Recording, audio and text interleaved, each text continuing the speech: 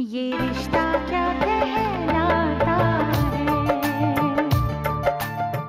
कहने को तो उन्होंने मुझे माफ़ कर दिया। लेकिन दिल से नाराज़गी अब तक नहीं गई है। आप ही बताइए दादी क्या मैं गलत कह रही हूँ? बेटा मेरी बात ध्यान से सुनो। कभी भूल से भी इस घर की बात अपने मायके में मत कहना। खासकर अक्षरा का रिश्ता टूटने वाली बात। जी मैं सोच रहा था कि इस महीने मेरी तनख्वाह बढ़ेगी लेकिन लेकिन अनिल अभी तीन महीने पहले तो आपकी तनख्वाह बढ़ाई थी। कोई एहसान नहीं किया आपने।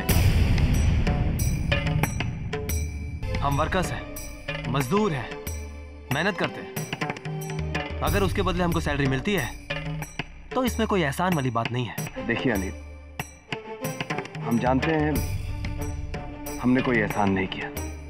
लेकिन आप जानते हैं एक हद के बाद हम भी कुछ नहीं कर सकते। तो मैं भी कुछ नहीं कर सकता।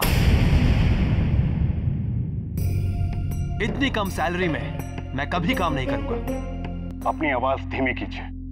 आप शायद भूल रहे हैं आप किससे बात कर रहे हैं। आज तक विशंबरनाथ महेश्वरी के साथ किसी ने इस तरह से बात नहीं की। जो अब तक नहीं हुआ वो अब होगा। समझ लीजिए मिस्टर विशंबरनाथ महेश्वरी। आपकी जो पहले इज़्ज़त थी, साख थी, वो आज नहीं है। ये है आपका बेटा। आज धमकी दे रहा है। कल किसी के साथ मारपीट करेगा। किस मुँह से आप अपने खानदान की इज़्ज़त की दुहाई देते हैं?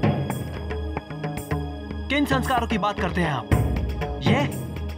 ये संस्कार दिए हैं आपने अपने बच्चों को? अरे सब जानते हैं। इन्हीं वजहों से आपकी बेटी का रिश्ता टूटा है। इन्हीं वजहों से आपकी बेटी का रिश्ता टूटा है। इन्हीं वजहों से आपकी बेटी का रिश्ता टूटा है। इन्हीं वजहों से आपकी बेटी का रिश्ता टूटा है।